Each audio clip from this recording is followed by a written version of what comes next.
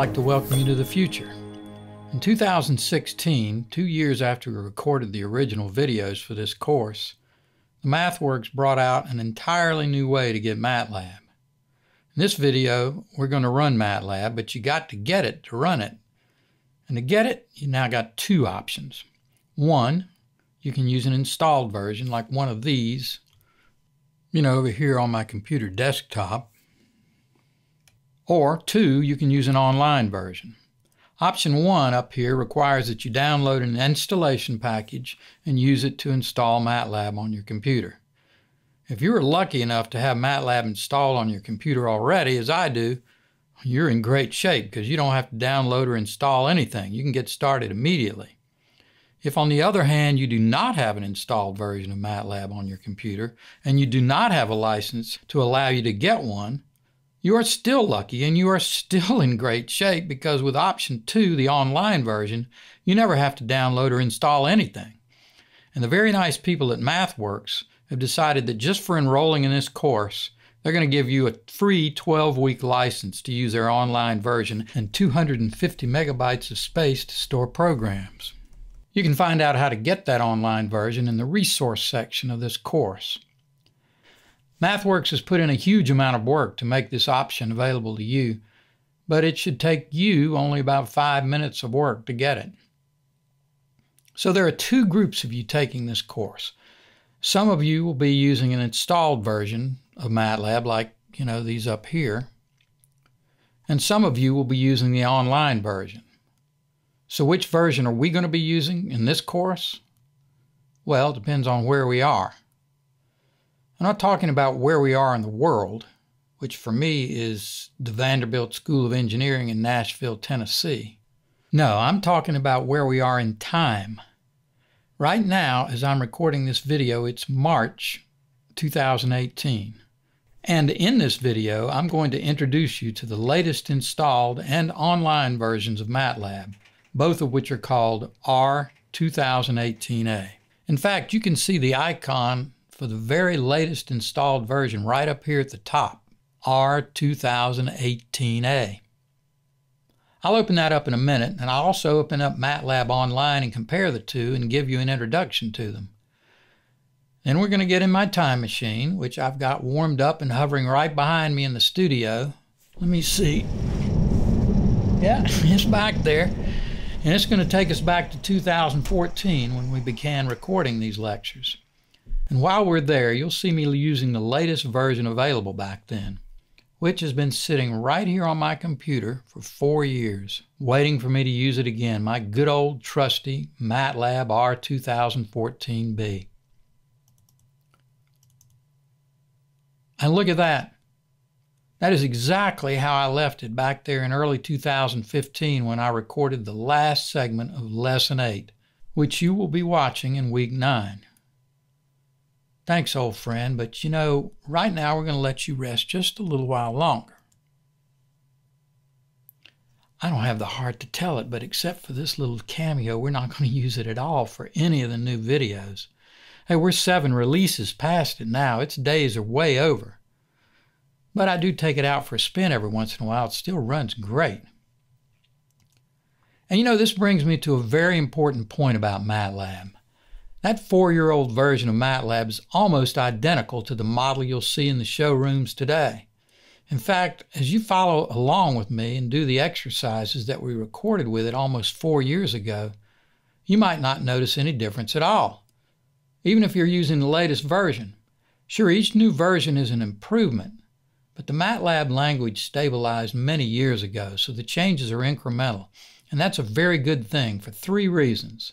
First, you don't want to write programs in a language that is rapidly changing because the programs you write today might not work tomorrow. Second, if MATLAB were to change significantly, I'd have to record 12 hours of videos all over again. That would make me cranky and crabby. And you wouldn't like me when I'm cranky or crabby. Third, you wonderful people out there who are writing Chinese, Dutch, Korean, Romanian, and Spanish subtitles for us would have to do that all over again. You know what? That's a lot of work, and Akos and I are very grateful to you for doing that. Hey, wait. No français, mes amis? Quelle horreur! Of course, even stable languages can get new features, and when features are added to MATLAB that we think you should know about, we'll add them to the course. In fact, we're adding a few good ones to the videos toward the end of this course this very year. So I've got three versions on my desktop, and you can have as many versions of MATLAB as you want or can afford installed at the same time. And if you want to hear your computer's fan run, you can fire them all up at the same time. But they're all backward compatible, meaning that the old code will run in the newer versions, and really there's no reason to have more than one unless you are a total MATLAB nerd or a totally cool MATLAB instructor. And of course, we know which one I am. Oh, is that so? Okay, fine. That's fine. And I assume you know what nerd means, right? Yeah. Naturally endowed for research and development, N E R D. And of course, you know that nerds are the people that make our world such a nice place to live in you know, that find cures for diseases, that launch rockets, provide the internet, invent GPS, a cell phone, and that computer you're looking at right now. I just thought of something. Since you're on that computer taking this course, learning MATLAB, you might be a nerd yourself. Well, if you are, then you're a member of a very exclusive society, and you might even be a genius enhanced with engineering know how. There's an acronym for that, too. But I digress. Let's just double click this MATLAB 2018A icon and fire this baby up. And we'll have a look at it. That launches MATLAB, and a window opens up to show the MATLAB integrated environment, which is usually referred to simply as the MATLAB environment or as the MATLAB desktop. This desktop is perched on top of your computer's desktop. And that's where you'll type all your MATLAB commands and where MATLAB will show you all your results. When you first open it up after its installation, this Getting Started link shows up here. You can check this out, but we don't need it for this course, and we need all the space we can get in the desktop, so I'm going to click this little X and dismiss it. You can move the window around and reshape it. And I'm going to um, do that to make room for MATLAB Online above it. That's right. The name of the online version is appropriate enough, MATLAB Online. And it's really pretty slick. To run it, all you need is a MathWorks account and a web browser, and then you can use it on any computer anywhere, anytime, as often as you want. To run MATLAB online, I'll just launch a browser. I like Chrome, but since I'm on a Mac, maybe I should use Safari. Hmm. Well, just to show I'm not playing favorites, let's flip a coin. Heads, it's Chrome. Tail, it's Safari. All right. Chrome it is. I'll type in this address https colon slash slash matlab dot mathworks dot com hit return and here we are at the login prompt it's a good idea to bookmark this site I'll do that.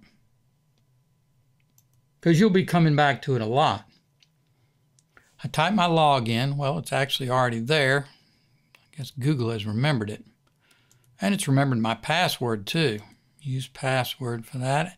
Then I come down here. I can just hit return or I can hit login. I think I'll just hit return.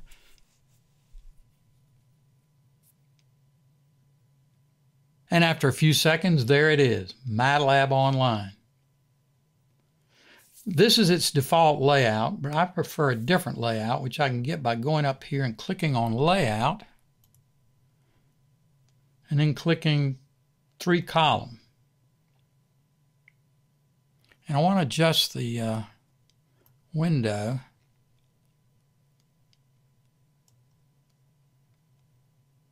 You know, so we can see MATLAB online and MATLAB install at the same time. Let's get them just so. There. I want to give them the same amount of space each because I don't want to play favorites here. I don't know which one you've got. There we go. But wait, before we do another thing, you need to get your version of MATLAB going too.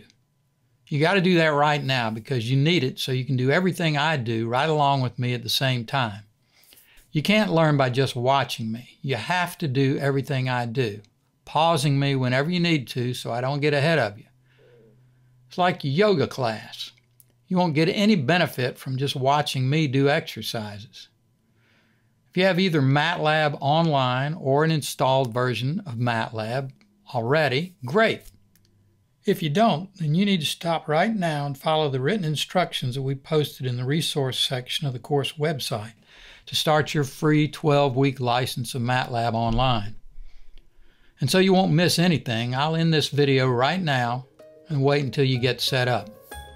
When you have your MATLAB desktop open and ready, you can start me back up in the next video and we'll put it to work.